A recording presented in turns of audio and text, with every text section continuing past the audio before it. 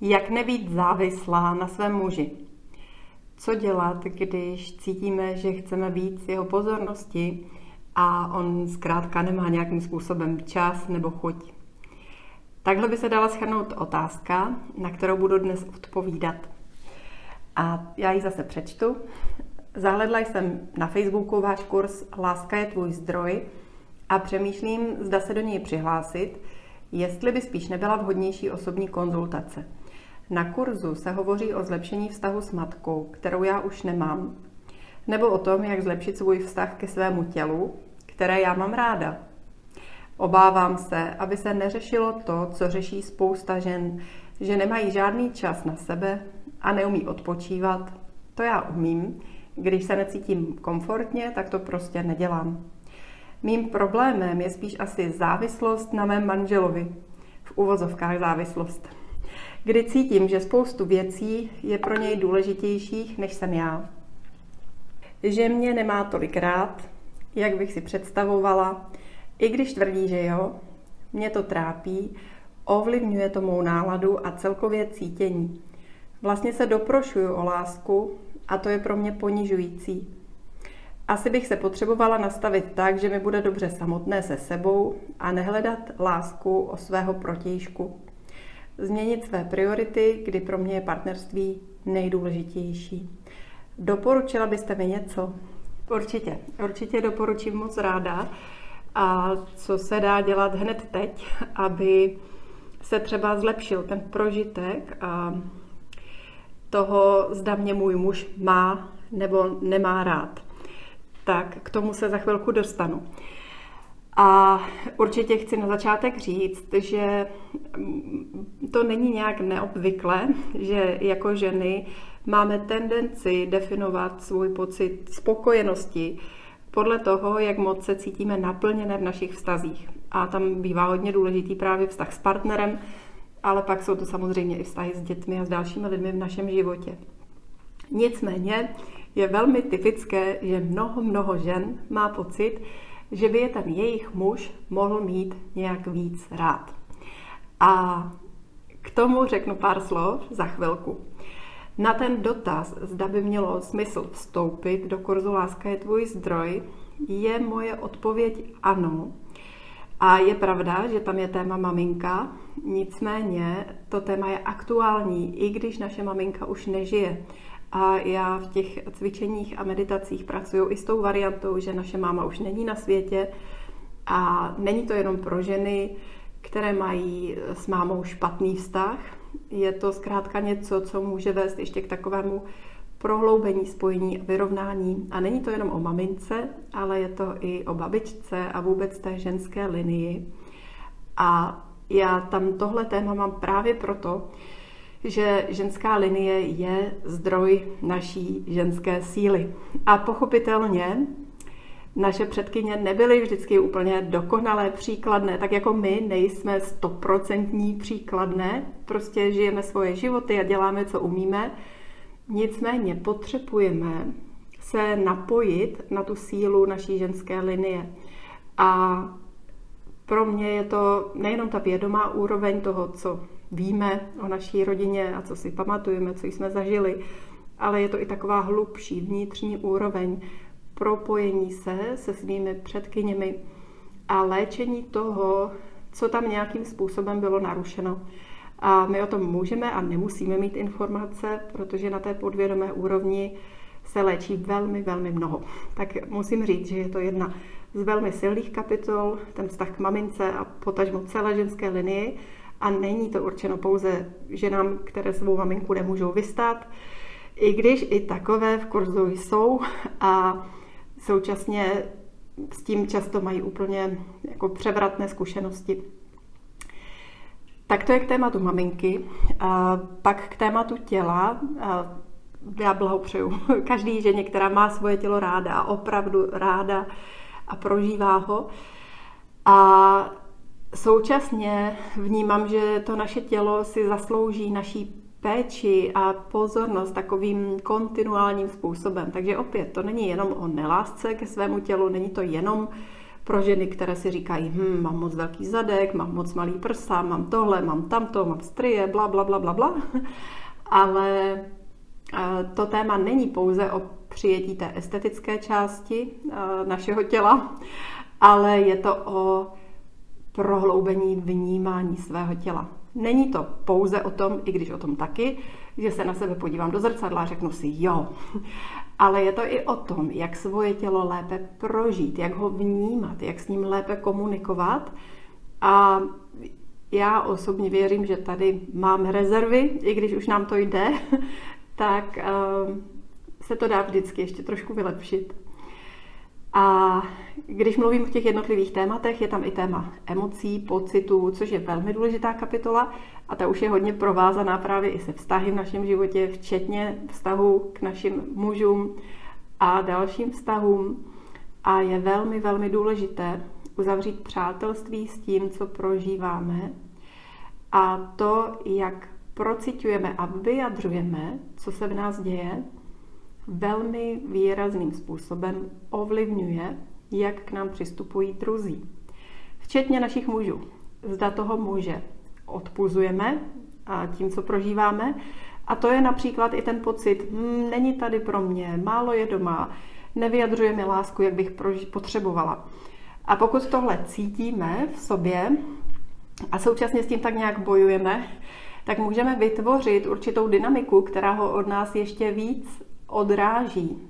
A proto eh, já se tomu tématu pocitu věnuju hodně a pro nás je tak důležité, abychom pochopili, co to je prožívat v uvolnění, v takovém smíření, v takovém láskyplném přijetí všeho, co se v nás odehrává.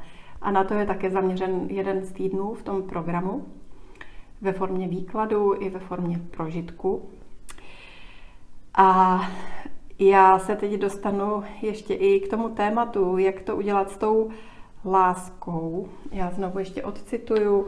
Potřebovala bych se nastavit tak, že mi bude dobře samotné se sebou a nehledat lásku u svého protějšku. A ještě dodám, cítím, že spoustu věcí je pro mého muže důležitějších, než jsem já. Že mě nemá tolik rád, jak já bych si představovala. A tohle totiž může souviset i s tím, jak my máme nastavenou definici lásky. Protože pro každou a každého z nás máme většinou taková nepsaná a mnohdy neuvědomovaná pravidla toho, co je to láska, co je to přátelství, jak se to zkrátka pozná. A když eh, jsou naše pravidla splněna, tak my se cítíme spokojeně, naplněně, radostně. Ovšem, když ta naše pravidla, ta nepsaná a často ani nevědomá kritéria naplněná nejsou, tak my se trápíme. A tady stojí za to se pozastavit a říct si, co to je. Co to je ta moje osobní definice lásky. Jak já poznám, že mě ten muž má rád? A opravdu si na tohle odpovědět. Jak poznám, že mě muž má rád? Jak se to projeví? A tady k tomu dám příklad a dám příklad na přátelství. A sice eh, je to příběh muže, který si posteskl, že nemá mnoho přátel, že nemá vlastně žádné přátele. A dostal pak otázku, aha, a jak se to pozná, že je někdo tvůj přítel? Protože ten muž byl obklopený mnoha lidmi, kteří ho milovali a kteří by pro něj udělali první, poslední. A on říká, no, přátelství se pozná tak, že si spolu povídáme dvakrát až třikrát za týden, alespoň po telefonu a nejlépe naživo. No a tady byl kámen úrazu, protože pro mnoho lidí v dnešní době uspěchané je poměrně náročné se sejít i se svým vlastním partnerem a mít nějaký smysluplný rozhovor třikrát do týdne. A pro mnoho z nás neznamená, že když si třikrát za týden nepopovídáme, že nejsme kamarádi. Já osobně mám mnoho přátel, se kterými jsme v kontaktu třeba jednou za pár měsíců, Nicméně víme o sobě, myslíme na sebe, když je potřeba, tak se podpoříme. A i kdybychom se neviděli rok, tak eh, tam jeden pro druhého jsme. Tak to je třeba moje definice přátelství. A tady je zajímavé si všimnout, jak snadné anebo jak náročné je naplnit ta kritéria toho přátelství. A věřím, že pro mnoho lidí je těžké naplnit to kritérium. Povídáme si třikrát za týden, nejlépe osobně, aspoň po telefonu. A že i vy pravděpodobně máte ve svém okruhu spoustu lidí, které byste označili za přátele, ale nesplnili by tohle kritérium. No a zrovna tak máme určitá kritéria pro lásku. A tady se to nemusí potkávat vždycky nutně a my se můžeme cítit eh, nemilovaní, i když milovaní nebo milované jsme. A je to čistě proto, že jsme si nastavili takovou definici lásky, kterou je těžké naplnit. A ten klíč pak může být i v tom, že si předefinujeme, co to znamená být milována. Respektive, já bych k tomu dodala, pojďme se podívat na to, jakými způsoby ten muž lásku projevuje. Možná to neprojevuje podle těch nepsaných pravidel dané ženy, ale je dost pravděpodobné, že naplňuje nějaká další kritéria, kterou ta žena by je třeba nedefinovala jako, že to je láska, ale pro něj to láska je. Když bych měla dát zase nějaký příklad, tak třeba jeden z docela častých příkladů v naší společnosti je to, že eh, se žena cítí doma osaměle, stará se tam o tu domácnost, o ty děti, o svoji práci a muž je ve svojí práci a když není v práci, tak třeba staví barák pro tu rodinu.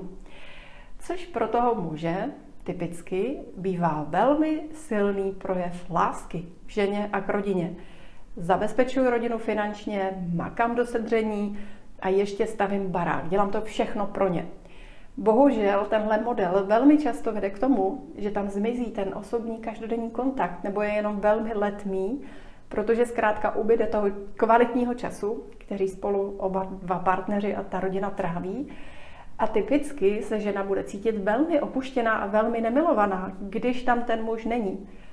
Zatímco on to dělá z lásky. Tak to je jeden takový první krok, který je důležité si uvědomit, protože je dost velmi pravděpodobné, že ten partner, manžel dělá spoustu věcí, které jsou projevem lásky, ale které ta žena jako projev lásky nerozpoznává. Pak by byl samozřejmě další krok, podívat se na to, jak eh, to vylepšit, jak si to vykomunikovat a ta žena by mohla říkat, co ona potřebuje k tomu, aby se cítila milována, a naopak muž může říct, co on potřebuje k tomu, aby se cítil milován. A k tomu je důležité vzít si čas a prostor.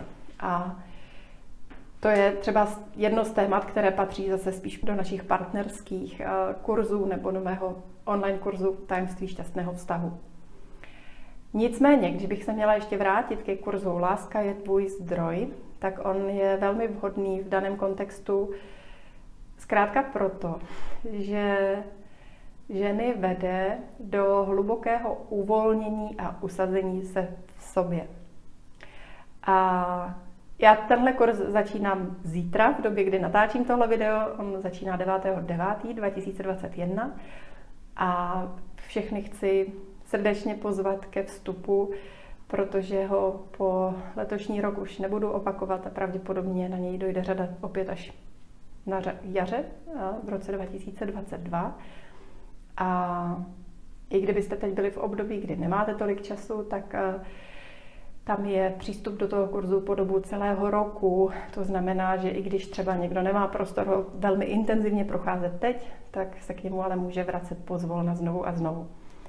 A proč by byl užitečný i v daném kontextu je, že dává ženám určitou kvalitu uvolnění se a spočinutí v sobě. Takové ukotvené spokojenosti vnitřní. A to současně, kromě toho, že nám to přináší hodně radosti a klidu do života, tak to bývá i magnetem pro toho muže. A to není pouze moje teorie, to je mnoha zkušenostmi a příběhy ověřená praxe, kdy jsem tolikrát ženy slyšela sdílet, že ve chvíli, kdy se v sobě ukotvily, často v kontextu nějaké ženské skupiny, online nebo offline, tak se vraceli domů v určité zářivosti a spokojenosti, která způsobovala, že ten muž o ně začal jevit větší zájem, že o ně začal víc pečovat, že si jich začal víc všímat. A současně ale musím říct, že my to ukotvení v sobě neděláme proto, aby si nás začal všímat, ale může to být jeden z průvodních efektů. Každopádně, když jsme ukotvené v sobě, tak si věci nebereme tak osobně, máme větší schopnost soucítění s tím partnerem. Třeba najednou vidíme, že to on, že on o nás nejeví takový zájem, jak bychom si přáli, může souviset s jeho příběhem, s jeho životní situací. A už nás to tak nezavírá a nezraňuje, jako tomu bylo předtím. No a současně máme více zdrojů pro to, abychom se cítili v životě ukotvené a spokojené. A tím pádem nepotřebujeme tu mužovou lásku tak urgentně, protože čerpáme ze svých vlastních vnitřních zdrojů. Tak to je hlavní důvod, proč bych i v daném kontextu ten kurz Láska je tvůj zdroj doporučila. A nepochybuju, že tam bude řada dalších efektů na mnoha úrovních, které se dotýkají mnoha rovin našeho života. A ta otázka ještě byla, jestli jít právě do kurzu nebo do osobní konzultace. Tak já bych řekla k těm konzultacím. Já když s někým dělám konzultaci, tak je to hodně na úrovni takové osobní podpory, naslouchání vašemu příběhu, a to, že vám třeba dodám sílu, že vám dodám novou perspektivu na věc, kterou řešíte ve svém životě, nicméně pak vám stejně doporučím nějaké další akční kroky. Protože ta konzultace sama o sobě, ona může změnit postoj, může změnit vnitřní naladění, ale k tomu, aby se do větší hloubky změnila ta realita vašeho života, potřebujete něco, co je víc kontinuální a co je zasazené do průběhu vašeho života. A na to jsou právě ideální semináře a i právě kurzy, které probíhají po nějakou dobu. Proto ty moje online ženské kurzy mají trvání vždycky minimálně jednoho měsíce, i když v praxi musím říct, že ta uzavřená facebooková skupina a vzájemná podpora žije i po mnohem delší dobu a současně mi ženy píší, že z těch materiálů, z meditací čerpají znovu a znovu i měsíce poté, co ten kurz skončil. A tím pádem je to nástroj, který pomáhá určité prožitky ukotvit v praxi každodenního života, tak aby se měnila naše každodenní realita. Tak já doufám, že tohle pomohlo. Nejenom tazatelce, ale i ostatním, kdo v tom či onom ohledu řešíte podobná témata.